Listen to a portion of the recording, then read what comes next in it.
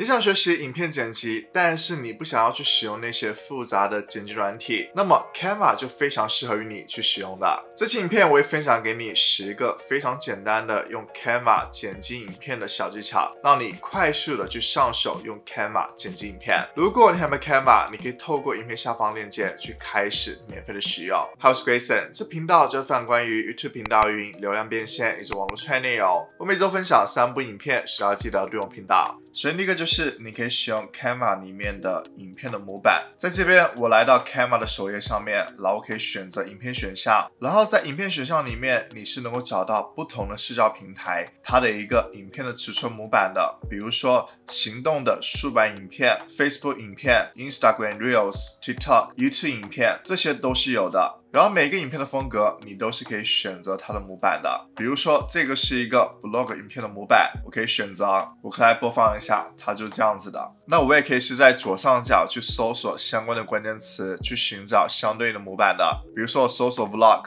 然后这边就会展示给我非常多关于 vlog 的模板，我可以选择看一下，它就是这样的形式的。所以你可以使用 Canva 里面提供的模板，去快速打造出一个非常不一样的效果。下一个技巧就是添加文字，你可以在影片的画面上面去添加文字的。比如说这边我添加了一部影片，然后可以选择左边的文字选项，然后这边选择新增文字方块，这边可以输入文字信息，然后可以在左上角调节文字尺寸，选择一个比较大的尺寸。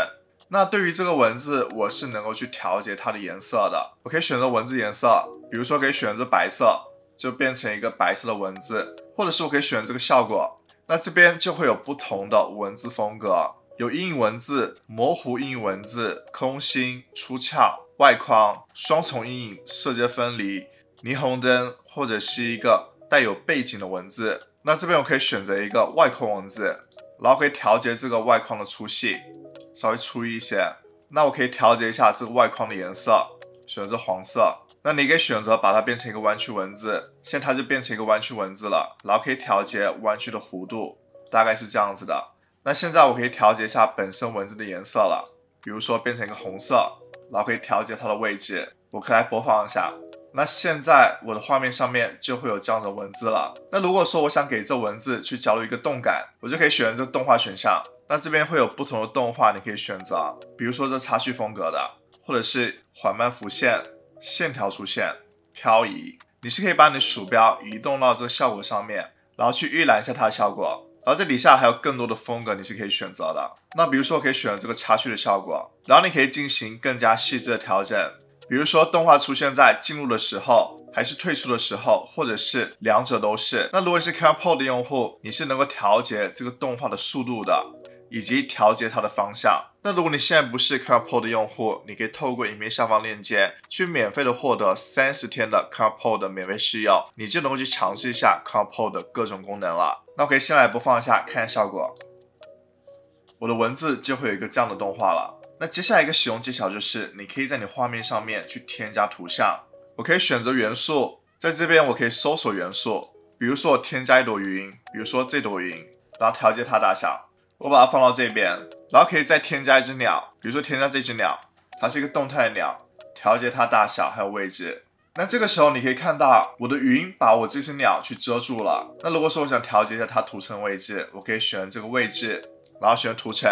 这边你可以看到我这云的图层是在这个鸟的图层的上面的。为了让鸟能够出现，我需要挪动这图层，把它放到这个云的图层上面，你就可以看到这只鸟就出现了。那我可以再添加个图像，比如说太阳，调整大小还有位置。我把太阳放到这边，那我可以给太阳去加入个动画，选择动画选项，这边会有不同的动画分类，比如说基本动画、夸张动画、照片动向，还有新增动态效果。那对于基本动画来说，你可以看到有个平移选项，或者插去、模糊化、板块移动，比如说可以选择这个板块移动的效果，你就可以看到我这太阳就在移动了。那接下来一个技巧就是，你可以在你的画面上面去添加图片，比如说在这边我有添加一部影片，那我是可以在这画面上面去添加图片的。我可以来到左边选择照片选项，那在这边我是能够去添加图片的，比如说可以添加这张图片，那我是能够去调整它大小的，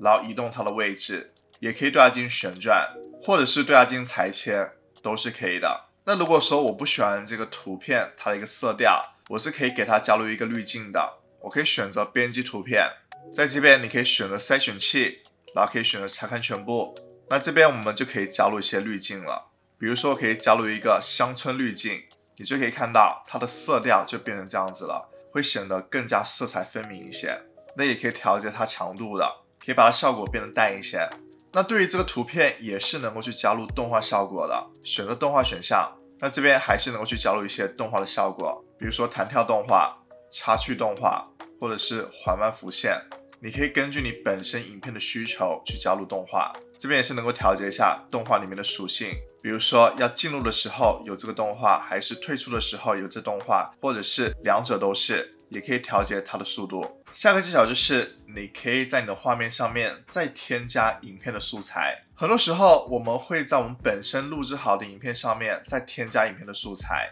我们称之为添加 B 肉素材。比如说在这边，我有我的主画面，那我需要添加 B 肉的素材，我就可以选择影片选项，比如说可以添加这个素材到我的画面上面，然后可以调节大小。现在就可以看到，我就添加了这部影片的素材到我的画面上面了。那如果说我并不需要去布满我整个画面，我也是能够调节它大小的，然后挪动它的位置。现在就可以看到，这个画面就会出现在我画面的左边了，然后也是能够对它进行裁剪，对它进行旋转的，同时也是能够给它加入动画的，比如说加入一个平移效果，加入一个差距效果，缓慢浮现效果都是可以的。下个技巧是，你可以给影片去加入滤镜，比如这边我有一个画面，它现在的感觉是这样子的。那如果说我想给它加滤镜，我可以选择编辑影片，然后这边有个滤镜选项，我选择查看全部，我可以把它变成一个黑白的效果，你就可以看到我的画面就变成一个黑白的效果了。我也是可以调节它的强度的，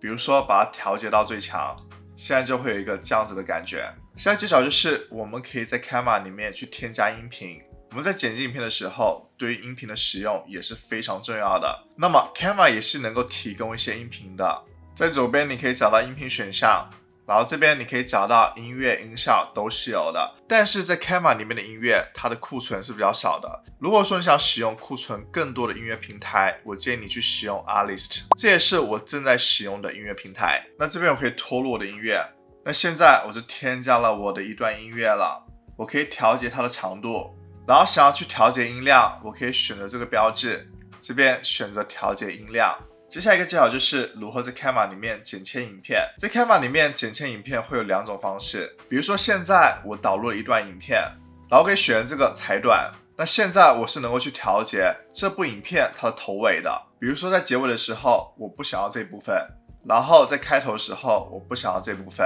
那么这个紫色的框和这个紫色框之间的区域。是我保留区域，可以使用完成。那这样就等于我裁剪了刚才那段影片。那还有另外一种方式，就是你可以来到底下的剪辑区，你把你鼠标移动到这头尾，也是能够出现这样的标志的。然后你可以挪动拖拽，也是能够进行裁剪的，不仅能够缩短，也是能够拉长的。接下来一个技巧就是扩展时间线。我们在平时剪辑的时候，有时候需要做到一个比较细节的剪辑。那么，如果你是使用 Canva 剪辑的话，你现在可以看到我这素材它是比较小的，在这种情况下，我是没有办法精细的剪辑的。那我可以选择这个缩放缩图，然后调整这个大小，你就可以看到我这素材的细节，我都是能够看到的。这样在我剪的时候就更加方便，能够找到特定的画面。那接下来一个技巧就是，我们可以使用时间轴指针。你可以看到这个就是时间轴指针，我可以挪动它，然后去找到具体的细节。那假如说我想要去在这边创建一个分割点，我可以右击，然后选择分割页面。那假如说再移动这时间轴，在这边创建一个分割点，分割页面，现在就可以看到我这段素材就分割成三份了。假如说我要删除掉这中间素材，我可以直接删除掉。所以这样也是一个使用 Canva 剪辑的方式。你可以透过影片下方链接去开始免费使用 Canva。如果想了解更多关于 Canva 的使用教程，你可以点这播放列表。如果觉得这期影片对你有帮助，希望这部影片点个赞，一定要记得订阅我频道，了解更多关于 Canva 内容，追踪我 IG，能够和更多互动。那我们下期片再见，拜拜。